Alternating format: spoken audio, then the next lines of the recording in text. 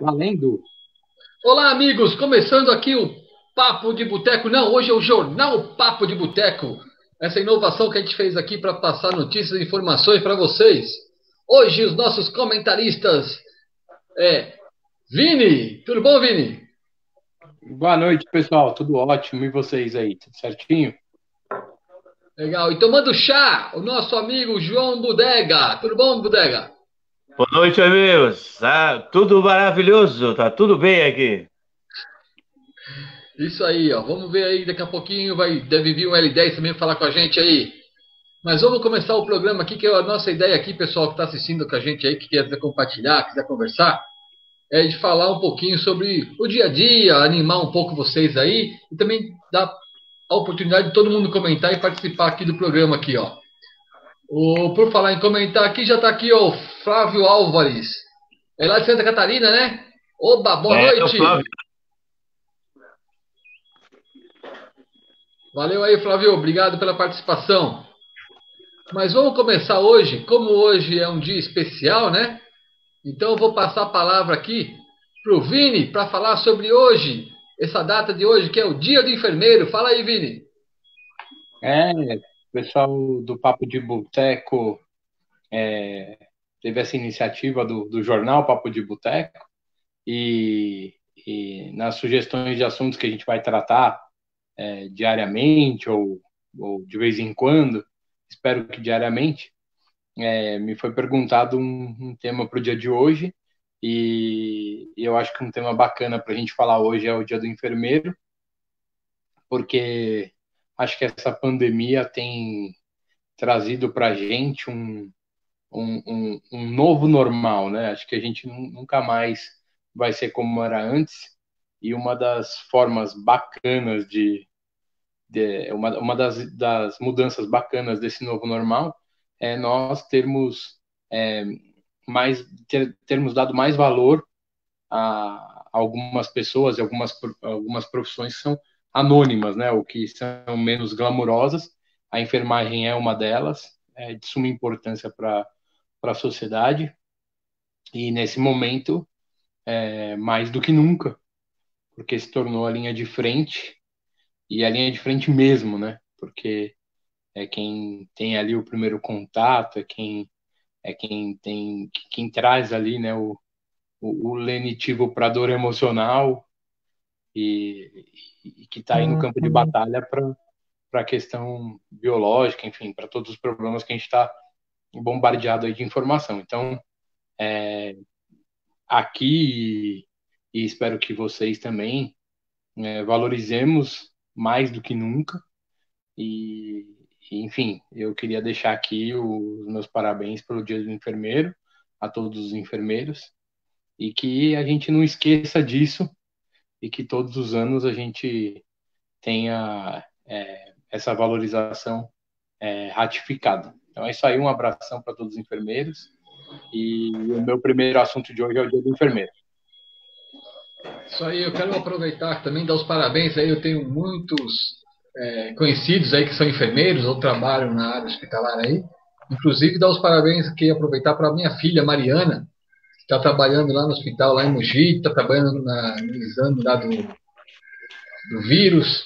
Então, é, não podia cair numa data melhor, no meio do que nós estamos passando aí, o dia do enfermeiro, né? Para se lembrar, eu vi várias é, cartoons aí do pessoal fazendo super-heróis, a Liga dos Amigos, e o, com os enfermeiros incluídos, incluídos nessa lista aí. Então, parabéns aos enfermeiros aí, a todo mundo aí que está trabalhando nessa pandemia aí. E aí, Bodega, alguma coisa para comentar sobre isso? Com certeza, com certeza. É... Boa, o, o Vini foi bem aí na. Bem bolado, como diz o Silvio Santos, bem bolado, bem sacado. É, eu tenho uma prima que é enfermeira, ela está no Juazeiro do Norte, não sei se tem o pessoal lá, eu mandei o, um recadinho aí para eles acompanharem também, não sei se estão acompanhando, alguém do Juazeiro do Norte. E é o pessoal da linha de frente, é o pessoal que está que está na, na, na, reta agora, está batendo de frente ali e muitas vezes é, mal assessorado, mal assessorado não, é, mal amparado no sentido de, de todos os aspectos de financeiro, é, psicológico, pressão psicológica, falta de material, e, e além de lidar com, com vidas, né? Tem a questão também de, de esbarrar com outras situações que nós tivemos aí, que nem adianta comentar agora, de, de que teve questão de, de agressão, outras coisas, né? Então, vários parabéns aí também para essa todo esse pessoal aí que trabalha com amor a profissão. Eles, fazem, eles trabalham com amor. Quando você trabalha com amor, acho que é, deveriam ser melhor recompensados, mas aquele que está lá em cima, Deus faz essa, essa recompensa que falta no, no financeiro, tem por parte divina. Parabéns. Isso, isso aí, o Geraldo Max está vendo a gente aí. Boa noite, pessoal. Valeu, Geraldo. Grande ô, Geraldão. Qual foi? Tá aí, ô, ô Bodega. Vamos falar aí sobre o seu, o seu tema aí, o seu assunto aí, ó. Fique à vontade é. aí. Fala o que você veio falar aí pra gente aí. Qual que é o seu, seu man, sua manchete? Então, a minha manchete é a seguinte: o jogador do Barcelona, Arthur, quebra o protocolo. É, eu, eu, não, eu não sou fã de, de, futebol internacional, não acompanho nenhum time, assim, não, não sou fã, mas chamou a atenção a questão da, da por que ele quebrou o protocolo no, no, no jogo. Os, os treinos foram liberados lá, né? E aí teve um, tem a La Liga, La Liga é como se fosse a CBF, a, a Federação Paulista, que, que organiza lá. E aí eles autorizaram um, um veículo, já foi identificado, deve ter sido feita a vistoria, é, questão de limpeza, higiene e tudo, e ele tinha ido na sexta com a Land Rover. Me corrija se eu falei errado aí. É, Land Rover, né? Falando de Rover.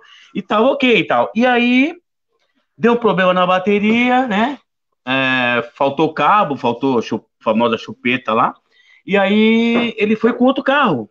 Ele foi, é, se não me engano, com uma Ferrari. Coitado, né? Eu imagino, depois eu, eu, espero o comentário de vocês aí, quem está nos assistindo pode escrever também aí.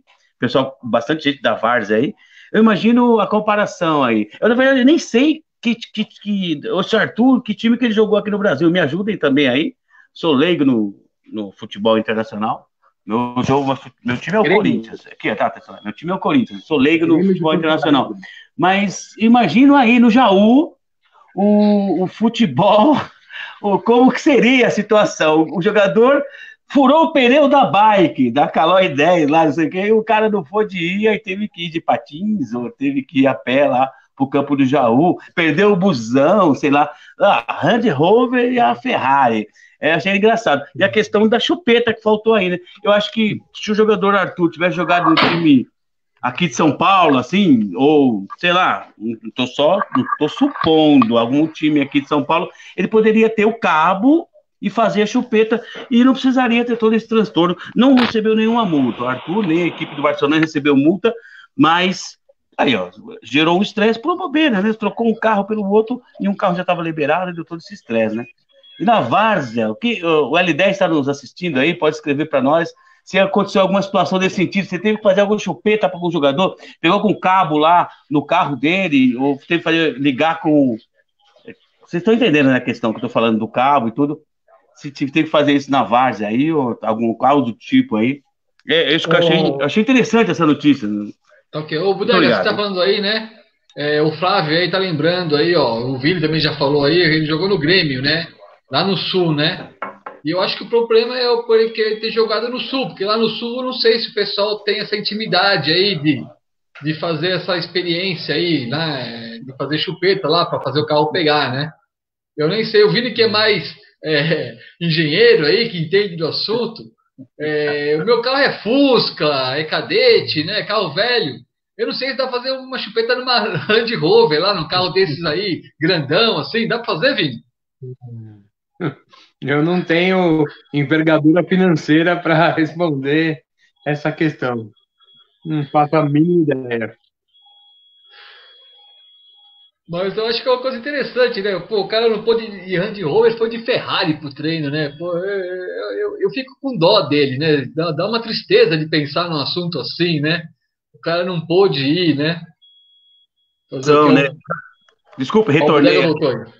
É, voltei, desculpa. É, acabei nem escutando o que você e o Vini falaram, mas depois eu, E, e para quem não sabe, esse programa fica disponível para depois você compartilhar e assistir novamente aí. Eu vou escutar Ô, depois de você. Tá bom. Ô, Bodegas, eu tava falando aqui que ele joga no Sul, jogou no Grêmio lá no Sul, e eu acho que lá no Sul talvez não tenha é, aptidão de fazer a chupeta, né? É, você, eu, eu queria que você pedisse para o seu amigo aí responder para gente aí, o ah. amigo Clodovil, falar como que ele faria para fazer esse resolver esse problema. Olha, meu amor, é verdade. Barbaridade, tio. Na verdade, queridinho, vou falar uma coisa pra você, né? Aqui, guri, a gente faz chupisco. Não é esse tipo de coisa, queridinho. É chupisco, entendeu, meu amor? Maravilhoso. O cabo é longo. Poderosa, perigosa. Olha, esse aí, bodega aqui, ó. Tá louco, hein? Ô, agora vamos passar. Ô, Vini, hum. você falou para mim aqui, eu não estou sabendo, queria saber que você me desse essa informação aí. Como é que tá a pandemia lá em Taiwan? Em Taiwan, é isso? Como é que tá lá esse negócio aí? Explica pra gente aí. É, então, como é, no, os nossos amigos do Papo de Boteco são os furões, né? Sobrou aqui para nós três mais de, mais de um assunto. E, enfim, eu, eu sugeri um tema que diante de tudo que a gente tem vivido, é, um, é uma lição, né? É, eu tenho um grande amigo que mora em Taiwan já há um ano e, e Taiwan fica dentro da China, né? Então é um país que conviveu com essa com essa realidade, com esse assunto já há algum tempo. Então, quando aqui chegou esse assunto, é, eles já estavam mais do que do que enfrentando, né? E, e assim, muito do que a gente ouve sobre essa pandemia, é, aqui no Brasil, infelizmente, o, o, o viés da pandemia, tipo, acaba escorregando para temas políticos, essas coisas, a gente acaba tendo informações de países que se dão bem, né, na pandemia, souberam bem enfrentar. E normalmente esses países são países muito mais desenvolvidos, né? São países mais ricos, tal, não sei o quê. Então, ah, o exemplo da Suécia, o exemplo de Israel, o exemplo do Catar, o exemplo de Singapura. E a, por, por ser de um grupo de amigos, a gente tem um grupo, inclusive, de WhatsApp, é, eu acabo sabendo das coisas de Taiwan diariamente, porque é o grupo dos meus melhores amigos, né? E o Mal, que mora lá, é, compartilhou com a gente a experiência dele durante todo esse tempo. Inclusive tem um vídeo que depois eu posso compartilhar aí com o Marcelo. Infelizmente não tem em português, só em inglês, mas é até intuitivo. Dá para a gente pescar as informações sobre esse vídeo, que é justamente a forma como Taiwan é, lidou com a pandemia. E Taiwan, enfim, quando a gente vê uma, uma bola de plástico daquela que você dá um bico e ela faz sete vezes efeito antes de chegar no gol, e está escrito ali Made in Taiwan, certamente ela não foi costurada por um por um milionário, né? Não é a, a extrusora do plástico lá não não é manipulada por nenhum ricão ou gente de terceiro grau completo. É, e Taiwan simplesmente fez o que precisava fazer, simplesmente levou a sério, simplesmente colocou a vida humana na frente do resto e independente de classe social, essas coisas, o país inteiro é, tomou providências apenas por uma questão de conscientização social. Não precisou ser dado nenhum tipo de pena, não precisou. É, foi, foi, inclusive, regulamentado, mas não precisou se fazer uso disso. As pessoas simplesmente tomaram as medidas. Taiwan começou a enfrentar a pandemia em dezembro. Em casos de pandemia e de disseminação em alta velocidade, o timing né, de início é uma arma mortal contra ou a favor. Então, assim, nós estamos enfrentando isso já com informações de cinco meses. Taiwan estava tá, enfrentando sem informações, né? E eles chegaram no número de 440 casos, se eu não me engano, e sete mortes. Eles já passaram mais de duas semanas zerando novos casos, e durante todo esse tempo, os três filhos, por exemplo, desse meu amigo, não perderam uma aula é, nenhum shopping foi fechado. Então, assim, medidas de segurança foram tomadas, é, rodízios. É, o meu, meu amigo, a equipe do, de trabalho desse meu amigo, ele é físico, foi dividida em dois. Então, ele, por exemplo, há cinco meses não, não encontra os colegas que caíram na segunda metade da equipe, justamente para, num caso de contágio, não serem contaminados a equipe inteira e, e dá para continuar funcionando. Enfim, um, um, baita exemplo cívico que, ao contrário de tudo que a gente está associando a questões de estrutura, dinheiro, simplesmente não, não é o caso. Então, a gente falou de Israel, a gente falou de país Catar, países que têm muito dinheiro, muita tecnologia.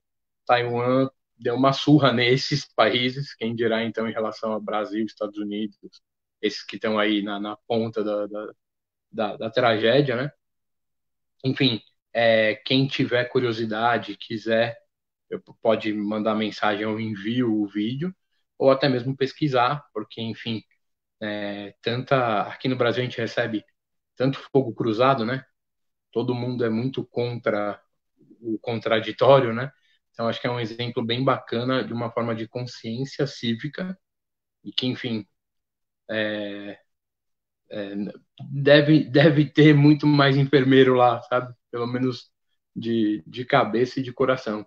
E eu acho que é um exemplo bem bacana para a gente é, ter informação como inspiração e como também uma, uma, uma prova de que tem saída, uma prova de que não, tipo, pode ser melhor. Isso aí, ó. O Gesiel da Costa dando boa noite. O, tá falando que Morro da Resenha está ligado. O Ademir Marques, estou aqui em Aguaí assistindo o programa. Valeu, Ademir. E o Geraldo Marques aqui, o Vini, tá falando aqui, ó. Não sei se é relevante, mas meu patrão mora em Londres. Desde o dia 14 de março já tentou vir para o Brasil por quatro vezes. Com a pandemia não conseguiu vir. E até agora está tentando. Geraldo, eu tenho um amigo meu também, é, trabalha em navio ele ficou muitos dias preso no navio, né, num porto entre a Grécia e a Itália ali, agora não me recordo bem onde que era, e ele também teve muito trabalho para mim, precisou da, da influência do Itamaraty, que teve que mandar um voo para lá, um avião para poder retirar os brasileiros e ele conseguiu voltar. Então, se ele está lá desde 14 de março, eu acho que ele já tinha conseguido aí, viu? Porque o, o pessoal aí do Brasil, acho que mandou bastante gente lá para retirar, né? É, e Vini, parabéns aí pela informação de Taiwan. Aí não tinha a mínima ideia disso aí, ó. Mas cria a esperança de que pode melhorar, né? Valeu aí. Maravilha. Ô Vini, em Taiwan, qual que é a língua lá que eles falam? Mandarim. Mandarim. É, bacana, hein? Acho que até o mendigo lá fala em mandarim, né? Isso é importante. Será bacana. que ele fala em mandarim, ô Bodega? Até o, você vê como é evoluído, né? Diferença do Brasil, né? Aqui o mendigo fala português, lá o mendigo fala mandarim. É, outro então, nível. O que, que você fala em mandarim, ô Bodega? Ah, em mandarim eu tenho até que pesquisar, eu tenho que ver aqui no, no, no meu, no, no, meu computador aqui, mas é que tá sem conexão, mas eu, eu vou, eu vou pesquisar. algumas palavras. O próximo... Bodega, se quiser anotar aí para suas, para suas é, declarações. Eu aprendi algumas palavras em mandarim, aí se você quiser notar. É, pode falar. Eu aprendi cabelo sujo. Cabelo sujo. Minha mãe tá passando aqui atrás. Aqui, Um beijão para ela. Um Mandando beijão um para dona Bodega. Dona Maria aqui tá. Obrigada, eu mando outro. É, tá mandando outro pra vocês. Ela tomou uns goró hoje, tá? Cabelo sujo é Shen Shampoo. Não, ah, esse, mas esse, essa, essa tem que ser por Marcelo. Questão tem, do cabelo. Tem hemorroida também. Hemorroida. Se você quiser anotar, hemorroida é Kushai Shang. Kushai Shang. É, hemorroida é interessante, porque não que eu tenha, mas eu conheço um, tem um, um amigo meu que tem. Eu não tenho, eu não tenho, mas tem um amigo meu que tem. Eu vou até. Como é que se escreve mesmo? Kushai Shang, peraí. K-U-C-H-A-I S-H-A-N-G. Tem também, ah, quando você quiser, quando você tiver com sede, é. Com? Kiromassagua. Só água. Kiromassagua. Ah. Quando você ainda e se eu tá quiser uma... sede... Se eu quiser beber uma vodka? Essa eu ainda não aprendi. Beleza, maravilha. O Geraldo Max está falando aqui, ó, que no caso da, do chefe dele lá, a, a, família de quatro pessoas, e um dos dias a filha estava com febre e não deixaram embarcar. Aí eu também acho, se tá doente não tem, não pode vir, né? Vai, imagina no avião, aquele ambiente fechado lá, como que ficaria as outras pessoas aí, né, também. É. Hoje na China, na China hoje foi reaberto a, a, o parque lá, é a Disney que tem lá, tem uma Disney na China. Vocês, é, vocês viram, acompanharam? Foi reaberto hoje de manhã, tinha bastante gente já. Algumas coisas. Em Portugal, as escolas já retornaram. De, dia par e dia né? ímpar. É igual, é igual rodízio aqui em São Paulo, é dia par e dia ímpar. Dia par vão os alunos, dia ímpar vão os professores, lá em Portugal. Então, as coisas vão é. caminhando. As coisas vão caminhando. Vai, vai, vai caminhando sim. Bem, vou falar uma coisa aqui, o que eu mais sobre uma notícia até de ontem, né, mas que repercutiu muito. Vou falar aqui sobre Mike Tyson volta a treinar, pessoal. Olha só que coisa, hein? Mike Tyson voltou a treinar pesado aí e tem rumores que ele vai retornar aos rings, hein? Ó, Mike Tyson voltando aos rings aí. E o técnico dele, interessante que é brasileiro, é o Rafael Cordeiro aí, ó, que está treinando ele aí para uma possível volta. Alguns falam que ele pode voltar num outro estilo aí, não ser o boxe, que pode ser um boxe sem luva, tem uma entidade que tem. Outros falam do UFC, né? E eu gostei da frase aqui do que o Tyson fez no treino aqui, ó. Deixa eu ler aqui porque eu não. Tudo é possível quando você é esperto. Treine de forma inteligente e recupere de forma mais inteligente. Eu vou dizer que ficaria muito feliz de ver o Mike Tyson treinando aí. Eu que recentemente vi um documentário falando sobre o Tyson aí, onde ele dizia que, sobre, na verdade, era sobre Tyson e o que ele começou a lutar por causa do Ali e ele queria ser o Ali. E quando ele encontrou o Ali, foi um dos momentos mais felizes da vida dele. Ele ajudou muito o Ali aí depois aí com a doença, com tudo aquilo. Então, Mike Tyson volta a treinar e pode voltar aos rings. O que, que vocês acham disso aí? Ô? O que, que você acha, Bodega? Você enfrentaria o Mike Tyson agora? Ah, boa noite a todo mundo aí presente aí. Gostaria primeiramente de dizer a vocês aí que essa Gostei da notícia aí. O caba, o caba, o Mark Tacha aí é um cara muito ligeiro, muito inteligente, aí, muito forte.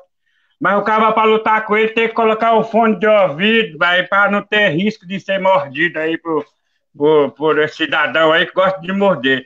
Você falou aí que ele vai fazer uma luta, uma luta vai ter, vai fazer diferente. Acho que ele vai morder o nariz de alguém, ó ou a, a, boca, porque as orelhas já mordeu aí, talvez, provavelmente, não vai dar certo, não.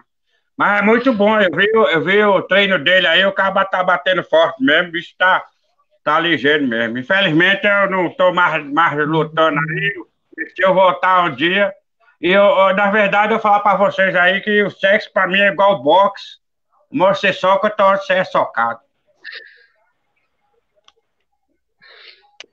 E aí, Vini, o que você achou do Tyson aí voltar a treinar e possivelmente lutar? Em termos de entretenimento é muito legal, né? Porque porque traz para o hoje uma, uma nostalgia esportiva, né? De, de quem gosta, né? De esporte como um todo, porque a, alguns esportistas transcendem o esporte, né? Então, o Guga é, é um ídolo, independente de você gostar de tênis, né? O Jordan, independente de você gostar de basquete e outras, né, Federer tal, e o Tyson, é, pelo lado bom ou não bom, ele transcende o esporte, inclusive fica até mais fácil de, de mesmo sendo outro esporte, né, ele ter a mesma a mesma audiência, né, como o Jordan teve no beisebol, por exemplo. Tem, ele realmente a, a personalidade dele é, é, um produto que, que não precisa de um ringue, né? Ele pode sim navegar por outras águas aí, ainda assim ele vai ele vai chamar muita atenção e em termos de entretenimento vai ser bem bem divertido, curioso. Isso aí, o Silvério Teodoro dando boa noite pra gente aí. Boa noite, Silvério. O Geraldo Marques aqui, ó. Parabéns, Bodega. Seu advogado conseguiu habeas corpus e tirou você do Carandiru de ontem para hoje. É, eu pensei, eu pensei até, eu gostei, adorei. Foi o Geraldo Marques, né, que mandou, fiquei até perguntei pro Marcelo depois, que achei sensacional sua visão. Eu tava pensando hoje colocar uma peruca, colocar um, um, um pano de fundo atrás, aí eu falar que você precisa Rainha do Deserto, aí mudar até de filme. Então eu preferi não, não fazer isso para não ter aí. É, é, não ficar meio duvidoso a situação aí, né? Já tenho, eu já, eu já tenho a fama, né? Daqui a pouco eu posso ser é, confundido não por opção, por maioria de votos, né? Pode ser que. Ah, o, eu, eu vi, da hora falando sério, é, não, sei se, não sei se a imagem que, que rodou do Mike Tyson, acho que é a mesma que rodou para todos. Não, tem o, o, cara, o cara que tá treinando com ele lá, ele dá umas no cara, o cara sai, você viu? O cara, tipo assim, chega, né? O cara. É, meu, brasileiro. Ele é brasileiro, né? Rafael e com quantos Cordeiro. anos? Ah, com quantos anos o, o Mike Tyson tá agora? 53 anos. 53? 53? 53? 5 é, Tem categoria? Mas tem que ter categoria, não tem, não tem. Não é para questão de. também.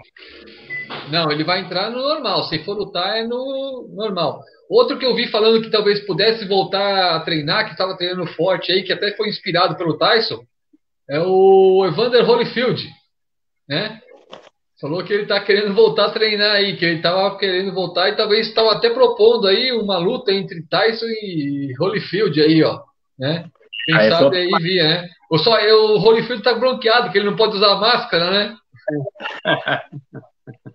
É mesmo, né? É, eu, aí eu, o Mike Tyson, na hora de começar a luta, já tá com o sachê de ketchup e mostarda ali do lado já. Bacana que o cara viu a bisnaga de ketchup e mostarda já fica ligeiro que Oh, olha, L10. olha quem apareceu aí, ó. Boa noite, amigos. Che... L10. Cadê aqui, ó? Cheguei agora. Pô, entra aí, L10. Manda, entra no aí pra você poder falar com a gente aí, ó. Tá aí o link pra você aí, ó. Você já sabe aí, ó. É que ele o foi José socorrer. Ele, ele foi socorrer. Foi... O Arthur. Socorreu o amigo, é. É isso mesmo. Positivo. Para ganhar o que o cara está está ganhando para lutar com o Tyson, até eu vou. KKKK, falou o Geraldo Marques aí, ó. Eu concordo, é. Geraldão. Me fez. Você, me subia, fez... Você, você, ia no ringue com o Tyson, Ring? Tinha coragem? Oh, tranquilamente, meu. Meu Deus, essa é eu, se eu entro lá, essa é a luta mais rápida do mundo. É, mas tudo bem, ganhou uma bolsa, né? É, eu falei assim, ó, só que é o seguinte, a hora que eu entrar no ringue, eu falo, já joga a toalha.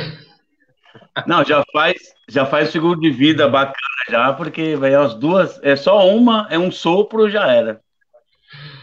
Ah, é, é, legal. Ô, Vini, deixa eu te falar uma coisa aqui. Eu tô aqui meio aqui nessa, nessa época aqui, ó, gente tá meio sossegado aqui, né? Eu quero saber se tem alguma dica de filme pra gente aí, até pro internato tá assistindo aí, tem alguma dica de filme pra gente aí? Opa, eu, meu, meu fluxo de trabalho aqui diminuiu assim nível Cataratas do Iguaçu para piscina infantil do condomínio, sabe? Então deu para assistir bastante coisa e, e para quem tiver acesso ao Netflix, é, aqui em casa a gente tem uma sugestão bem legal de um filme chamado Milagre da Cela 7, que é uma produção da Coreia do Sul que foi refilmada agora por uma, por uma produtora da Turquia. Então o filme se passa na Turquia, mas é um, mas é um roteiro original da, da Coreia do Sul. E que, enfim, eu, para mim, né, as coisas que mais me, me atraem assim, em leitura, em, em, em audiovisual, são quebras de paradigma, né? E esse, esse é um filme denso, é um filme pesado, mas é um filme que vale muito a pena porque porque vai vai quebrando paradigmas, né? Você vai vendo formas diferentes, né, de, de, de, de correção do, do, ser humano, né? E basicamente a história de, um, de uma pessoa limítrofe, né? Um, um cara com um problema mental que acaba sendo incriminado é, por, um, por um acidente. E e aí ele acaba indo para a cadeia e a história se passa aí, né? Do, do, do, acidente até a pena e aí a estadia dele na, na, na cadeia e o desfecho da história. É um, vale muito a pena, mas assim, prepara o lenço e, e assista algumas horas antes de dormir, porque é um filme não é leve, mas é muito válido. Um conteúdo bem bacana.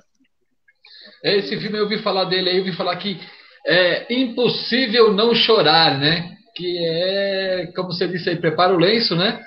Já me recomendaram ele e eu não ainda falei assim, não quero chorar ainda. Então eu tô aqui me segurando para não assistir ainda, porque por enquanto eu só tô querendo rir. Tô procurando só coisas mais emocionantes. E por falar em rir, chegou o nosso, nosso grande amigo L10 aí, chegou para encerrar o programa. E aí, L10, tudo bem? Boa noite, rapaziada. Desculpa o atraso aí que foi resolver um probleminha aí, mas tô de volta aí na área aí. Deixa eu importante que... aqui, ó. O, o primeiro assunto aqui do, do Bodega Abordado foi o Arthur que quebrou o protocolo e foi treinar de Ferrari porque o, acabou a bateria da Land Rover dele. Será que é o mesmo problema que aconteceu com você aí? Foi, quase o mesmo. foi socorrer um amigo aí. Mas você tava com o cabo lá, né? É. Levou o cabo para ligar a bateria do, do rapaz? Levei o cabo, ele, levei o cabo, ele fazia chupeta. Perfeitamente. Você, matou a o, o, o, deu uma dica boa aí, eu não assisti ainda esse filme. E eu já chorei bastante esse ano, porque assisti o Campeonato Paulista quase que tudo, então já chorei bastante. Então, não quero assistir esse filme, não. Não quero assistir. Deixa, deixa esse daí para depois. Deixa esse filme para depois. Mas é muito bom o filme. Já muitos amigos meus já assistiram e recomendam que é muito bom. Eu não tive preguiça porque eu fui assistir, mas está legendado no Netflix. Eu tive preguiça de ler, aí eu deixei para outro dia. O Geraldo Marques falou aqui, o milagre da cela 7 foi o habeas corpus que o advogado do Bodega conseguiu hoje, tirando o Bodega. Aí é o Vini, nosso advogado aqui, que conseguiu. Por isso que ele falou do filme aqui, ó. Já deu duplo sentido aí que ele foi tirar o bodega do Carandiru de ontem para fazer o programa. Boa, boa, Geraldo, mas deu certo, viu? Eu paguei a.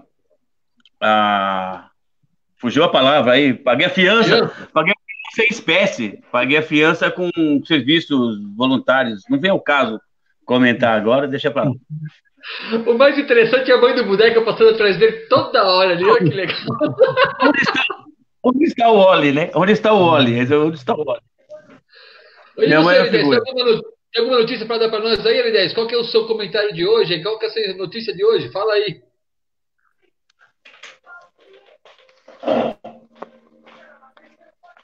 Eu acho que ele não está ouvindo. Eu tenho, eu tenho, uma notícia que ele pode dar aqui, ó. Tem uma, uma manchete para ele. No pique, no pique tem uma manchete para ele que eu acho que ele pode comentar para nós. Tá escutando aí, Leandro?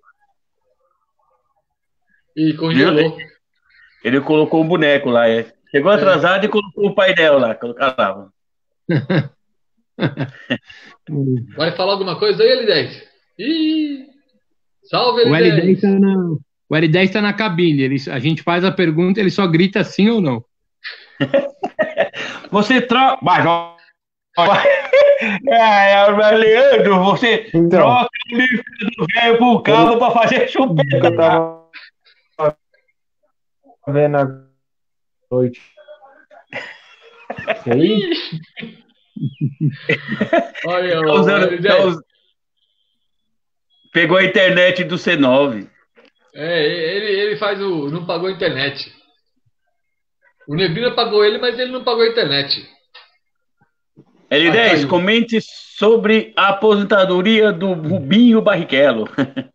Aí eu tenho uma frase aqui, ó. ó pera, antes Desculpa. de falar aqui, ó. O Geraldo Marques aqui, ó, sobre o caso do Tyson lá, ele. Porra, eu apoio da minha mulher e não ganho nada.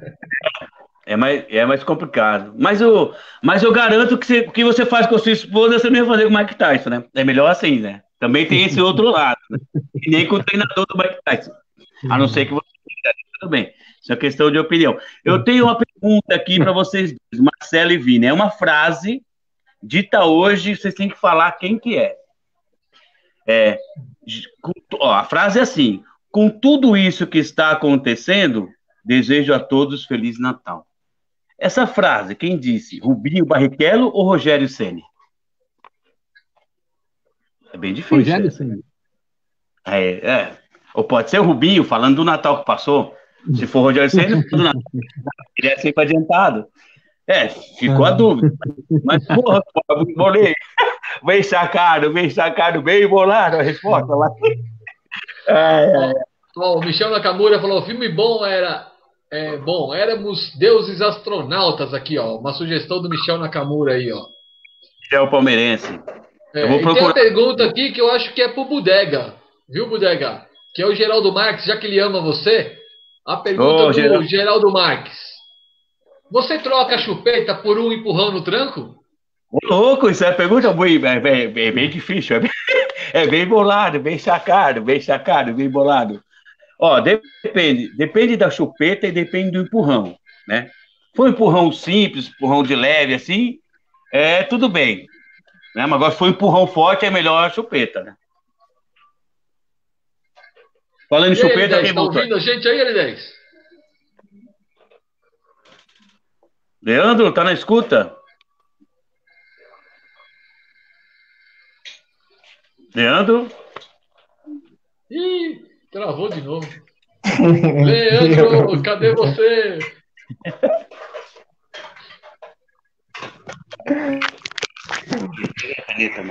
Tô, pode falar. Ah, pode falar, meu. Qual que é a sua notícia, Leandro? Vou Fala falar. Aí. Opa. Caiu de novo. Bem, Já. mais alguma notícia para comentar aí? Mais alguma coisa para falar aí, ô Vini? Não, não. Amanhã estamos de volta. Então amanhã, 9 horas, estaremos de volta aqui com mais um programa. E você, Bodega, mais alguma coisa aí? L10 morreu. Não, queria agradecer aí é, as mensagens, o pessoal que participou. E desculpa a falta de assunto também. confesso que não me preparei aí para. Não estou bem como nosso advogado, falando sobre Taiwan, sobre mandarim, Kuchaixang e tudo mais. Anotei aqui, anotei a dica, não é para mim, é para um amigo meu. É para um amigo meu. Meu, meu fumega é zerado, não tem esse tipo de situação. E, e, muito obrigado aí, a oportunidade. Um beijo especial a todos que, que mandaram mensagem, tiveram paciência com a gente aí. E parabéns mais uma vez pela equipe de enfermagem, do, do auxiliar, do técnico, do, de todo, né? Desde o auxiliar até o, o, o chefe do, da, da área. Do, do nível do máximo até o, o inicial lá. Todos são importantes. Isso aí, pessoal. Então, Vini, obrigado. Bodega, obrigado. Amanhã estaremos aqui às 21 horas com mais um Jornal Papo de Boteco. Vamos lá. Valeu, pessoal. Até mais. Boa noite. Abraço.